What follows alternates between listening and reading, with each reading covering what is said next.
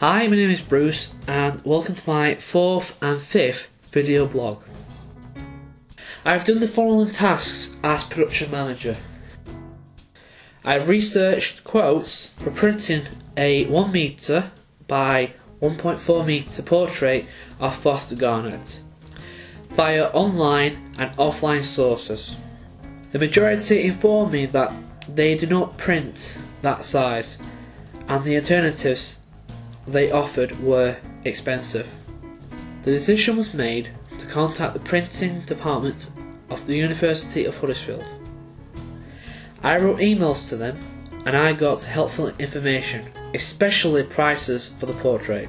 I informed the group about my research. Overall, it was voted that it was expensive and other options should be explored.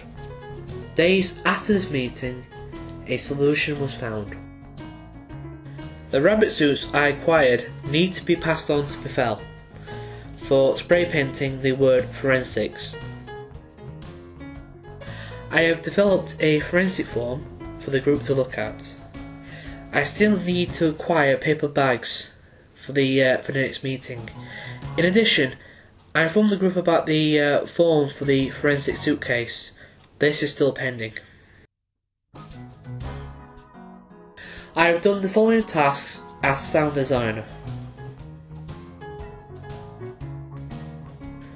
I have done a second practice session with the sound equipment.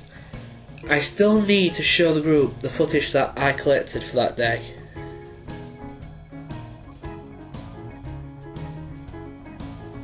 I developed sound notes which involves analysis of the script, voice groups, visual and sound maps.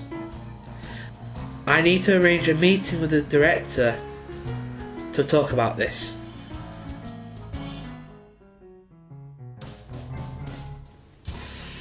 In addition, I produce samples of Foley to show the group.